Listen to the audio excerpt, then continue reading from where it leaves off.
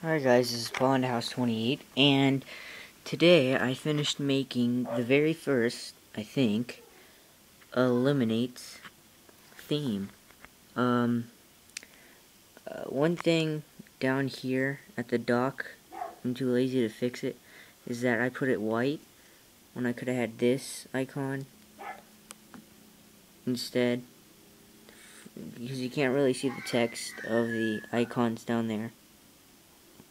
But anyways, um, up here at the top, I put ngmoco and Plus up at the status bar, and I put badges, armor, and other stuff as icons down there.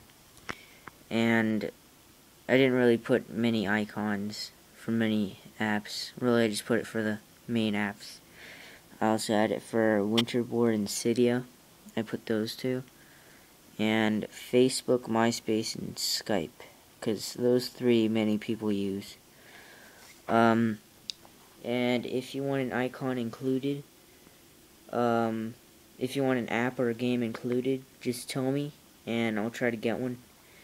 Though I have limited pictures of the little armor and badge things because I'm using them from um, Touch Arcade's Eliminate Fan Kit. So, yeah, they were all transparent, which made it easier. And the background is like from the big Eliminate poster that I shrunk and fit a different way. So it's like that. And the lock screen is right there. It's like three people and eliminate right there and just slide it.